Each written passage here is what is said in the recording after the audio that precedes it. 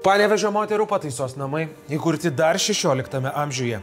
Daugelis turbūt nežinote, kad dar 1960 metais čia kalėjo ir vyrai. Jeigu šios sienos prabiltų, kokių paslapčių jos papasakotų? Sunkus gyvenimai, vyrų smurtas, alkoholis ir dažnai narkotikai. Tačiau leiskite užduosiu Jums klausimą. Ar visi paklydimai mus daro monstrais? O gal monstrais mus padaro visuomenė ir kiekvieno kalinio viduje yra tyras ir doras žmogus? Šiandien mes svečiuojamės pas nuostabią moterį, stiprią moterį ir keturių vaikų mamą. Tai kiek šiuo metu jūs vaikų turit? Dabar vėl tris. Atvykome čia, kad ją pakalbintume apie vieną labai svarbų įvykį, nutikusi Panevežio moterų pataisos namuose. Ta lemtinga 2021 m. kovo 18 popietę. O klausykit, Danutė, turbūt nėra paslaptis. Danuta. Danuta. Danuta.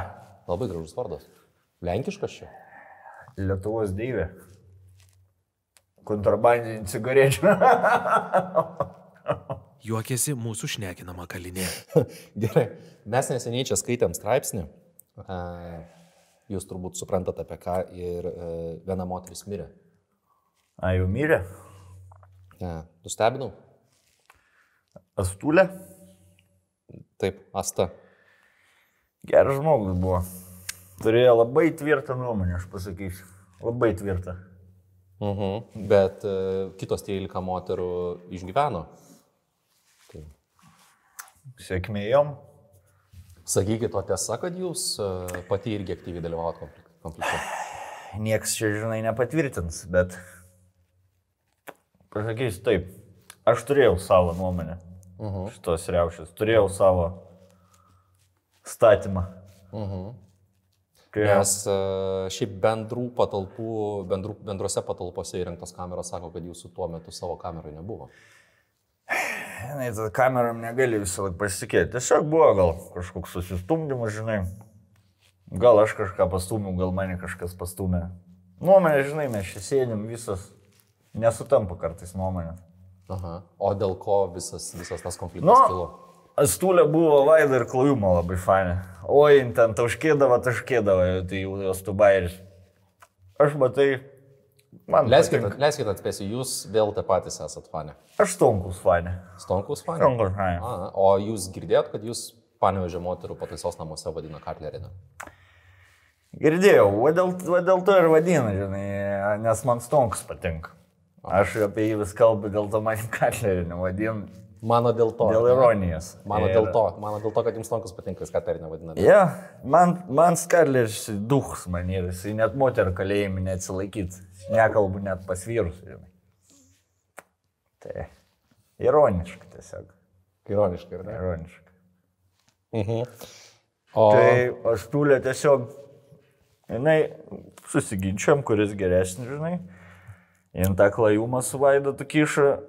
Aš sakau, tai blėt, jeigu tokie jokingi, tai ko jie kiekvieną savaitę nedaro, žinai, po 3 valandas. Nu, o ką Asta sakė? Gal Asta sakė, kad uh, jie telikė nesimaskatuoja, tai jų kas savaitę nežiūrėt? Estas aš antro argumento nebeišklausiau. Tai jūs ir nudūrėt Astą Ne, ne. šepetėlių Oral B, ar ne? Aš nesitepliuoju rankų. Ir kaip sakant, žinai. Esa. O tai kokios jūsų bendražygės, turbūt reikėtų sakyti, turi kritikos vaidų ir klajumų? Vienas iš nedaugis, kitas peraugis. Amžinai vaiks išnektos, laiškus feikina. Aš parašiau vėl tiem patiem du laiškus, abu perskaitė. Mhm. O pas juos ten viskas. O jūs e, kaip iš tikrųjų yra parašę? Tikrus, Ja, tikras istorijas? aš man nėra kas slėp. Mhm. Aš nėra kas slėp. Tas Jonas, tas slėpė tą Joną. O kas, kas ko jie nerodo? Irgi ten koks zaikus ten palikis tas Jonas, man. Su mumis dalinosi jausmingoji kalinė. O klausykit, uh, Danuta, o jeigu grįžti prie uh, kokią Astos galbūt, e, Astas su bendražygėmis turėjo, vis tiek jos turėjo kritikos uh, vėl tiems patiems, ar ne? Aš kiekvieną kritiką galiu atšauti.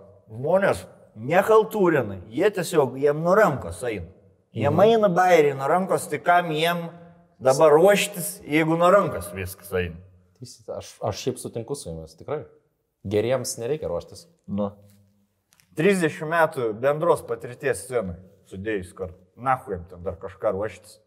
Sprant. Bet ko gero, e, ko gero reikia pripažinti, kad ir šiuose pataisos namuose, kaip ir kitose įkalinimo įstaigose, bent jau kiek aš esu susipažinęs su, su statistika, yra ženkliai daugiau uh, Katlerio ir Stonkaus uh, fanų ir tarp šis tarp sėdi paprasti, natūralų žmonės, supranti, kurie reikia tiesiog natūralių emocijų, o ne kažkokį ten bairiuką parašytą.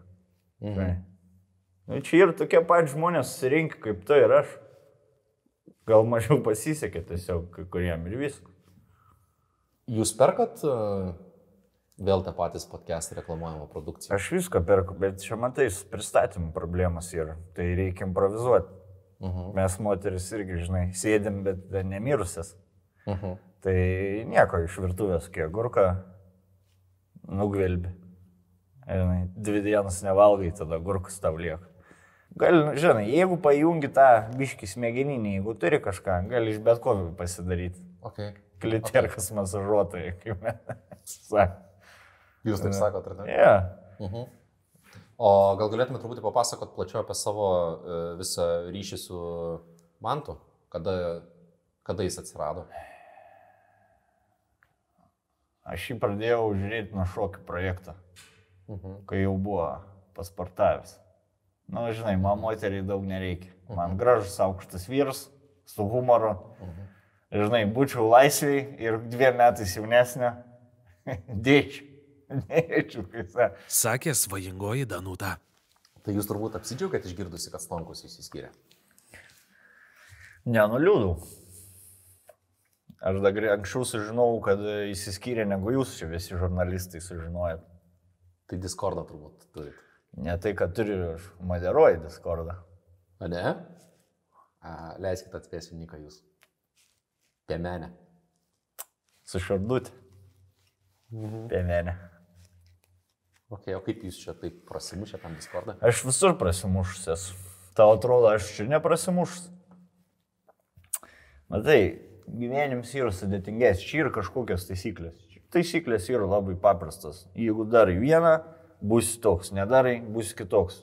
Ten, už sienų, daug sudėtingiau viskas. Nėra gero arba blogo, teisingo, neteisingo. Tai pirmi du neštumai nebuvo planuoti, iš to pasakysiu.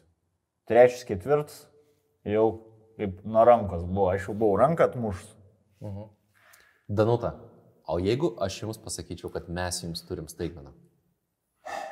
Šiaip nelabai man staigmenas patinka. Vat, e, mano vyras prieš šešis metus bandė padaryti staigmeną ir e, netinkamai sureagavau, tai dabar va už ką. Čia yra ta, ta istorija, kuris bandė dar vieną moterį į lovą parsivesti, ar ne? Manažė tva. Iš kur tokie žodžiai, Danuta? Aš labai daug skaitau. Mhm. O jeigu mes jums pasakytume, kad šiandien su mumis yra mantas. Ir jis nori jūs pamatyti. Aš jam turiu staigmeną pats paruošęs. Jis rimtai mantas yra čia, nai. Yra mantas, tai Parodykit. einam. Einu.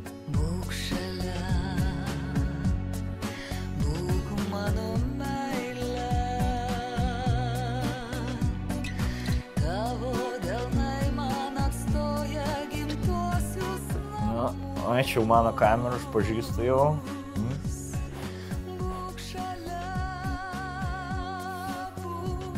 Mano Aš galvoju, čia stonkus bus.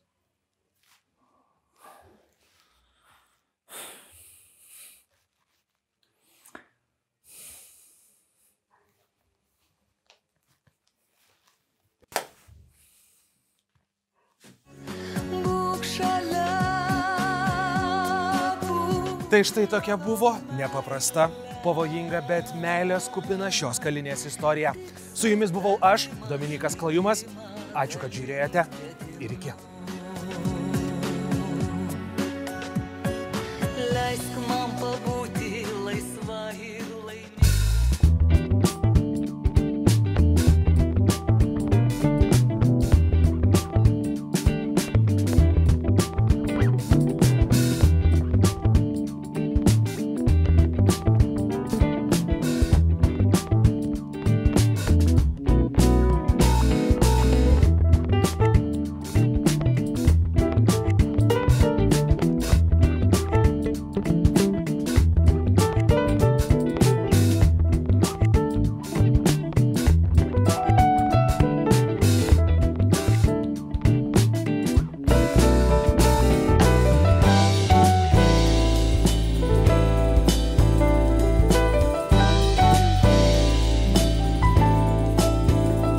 Whole swang on niggas that got bad behavior. My 415s woke up the neighbors.